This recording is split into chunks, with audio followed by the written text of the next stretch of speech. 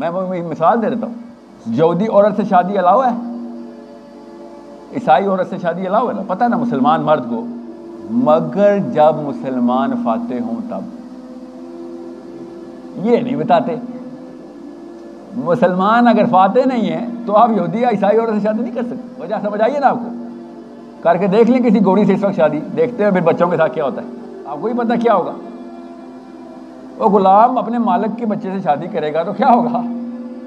सोचने सही अपना मालिक ही पैदा करेगा ना? आप समझ आए हदीस का मतलब? एक दौर आएगा कि जब एक औरत अपने आका को जन्म देगी। मतलब समझ आए? ये आखिरी दौर की बात बता रहा हूँ।